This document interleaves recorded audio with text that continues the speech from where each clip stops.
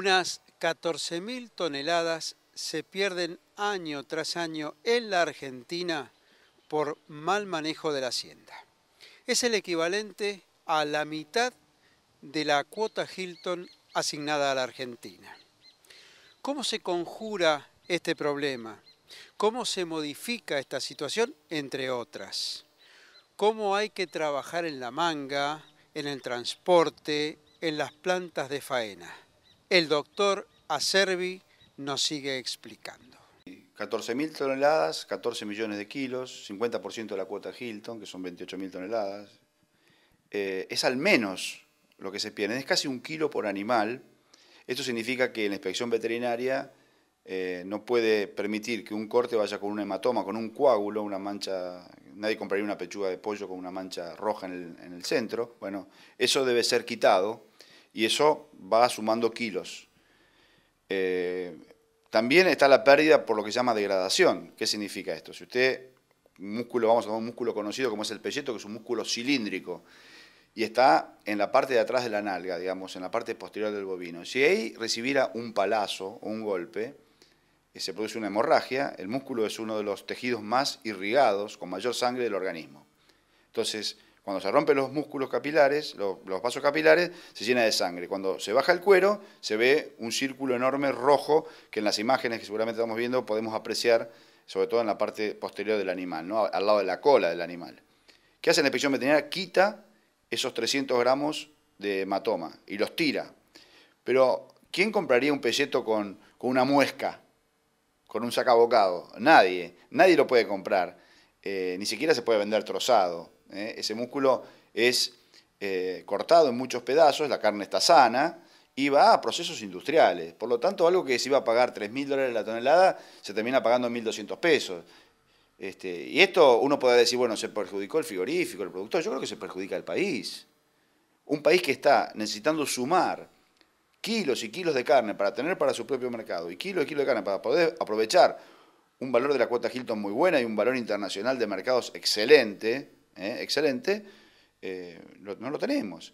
Recordemos que eh, Argentina exporta 500.000 toneladas, de las cuales 28.000 son la Hilton, el resto son todas las otras categorías, vaca, novillo y todos los otros cortes. Rusia lleva el asado sin el hueso hecho en manta para industria. Tenemos una diversidad. La gente supone que lo único que se exporta es el bife de chorizo y el bife de chorizo es, un puntito en todo el, volumen de carne, es un montón. Porque la gente se confunde también, nadie come un churrasco como come Argentina, Uruguay, Paraguay o Alemania o Europa. La gente come en el Asia o, en el resto de América la carne en cuadraditos, en, composiciones alimentarias con arroz, con papa. No hay un bife de cuadril de 150 gramos arriba de la mesa. Hay un punto clave en todo esto, que es la educación, la formación. Ustedes están trabajando intensamente, tienen un programa en esta materia. Educación continua es un programa que se da en la Universidad de Tandil, en la Universidad Nacional del Centro, porque fuimos autocríticos. El veterinario tiene que, en la, manga, tiene que mandar con criterio, tiene que educar a sus compañeros de, trabajo, que puede ser el hombre de campo, pero no tiene que ser el hombre de campo.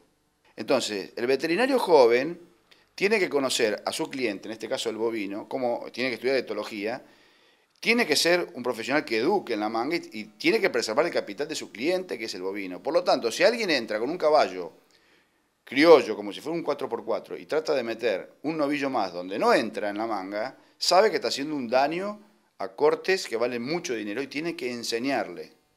Yo no creo que haya mala intención, creo que, vuelvo a tu pregunta, creo que hay un problema de formación, empezando por el veterinario y aquellos estudiantes que estudian en el secundario en una escuela agrotécnica donde montan los terneros, juegan, pialan, y lo que están haciendo es rompiendo un cheque de 1.500 pesos. Picana eléctrica, perros, el uso de látigos, esto es frecuente todavía en el campo, ¿verdad? Son actores que pareciera que los respalda el Martín Fierro, y sin embargo, eh, José Hernández, el autor de Martín Fierro, en sus instrucciones de trabajo para el mayordomo de campo hablaba todo lo contrario. Todo lo contrario, ya Rosas hace 189 años hablaba del tema del manejo de la hacienda en el manual del estanciero. Es decir, que no es un tema nuevo, es un tema que pasó al olvido, que por suerte en el tambo, eh, por suerte, porque digo, las industrias lácteas han llevado educación al tambo a través de la recompensa económica, y no está mal, este, y ha habido sanidad y mejora en el manejo.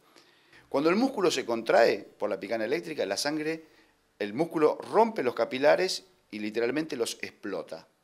Cuando los explota, después cuando el músculo se relaja, sale toda la sangre. Y esos bifes o esos músculos quedan todos con pequitas de sangre.